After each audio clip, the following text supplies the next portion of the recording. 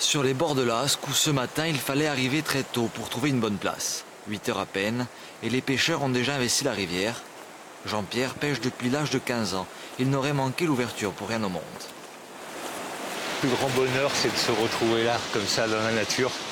Après, si on fait un petit peu quelques truites, c'est bien. Si on n'en fait pas, c'est pareil. Le bonheur, c'est d'être ici, là. Regardez comme c'est beau. Et là, c'est magnifique. J'en tremble un peu, tellement je suis heureux. Pour ces pêcheurs venus de Balagne, voilà la première prise de l'année. Elle est belle. Elle a la maille. Elle n'est pas très grosse, mais Président de l'association agréée pour la pêche et la protection du milieu aquatique en Balagne, en ce début de saison, Pierre-Paul y constate le débit faible des cours d'eau et le dérèglement climatique auquel le pêcheur devra s'adapter.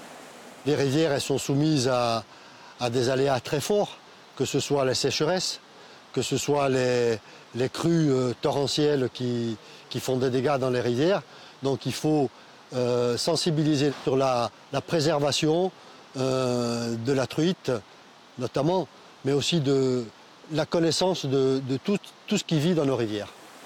Les règles sont les mêmes pour tous, pas plus de 10 truites par jour et par pêcheur, et il faut relâcher celles qui sont inférieures à 18 cm. Eh putain, ma, ma elle me l'a bouffé. La Corse compte chaque année plus de 4000 pêcheurs. Pour la fédération régionale, la sensibilisation est un enjeu important.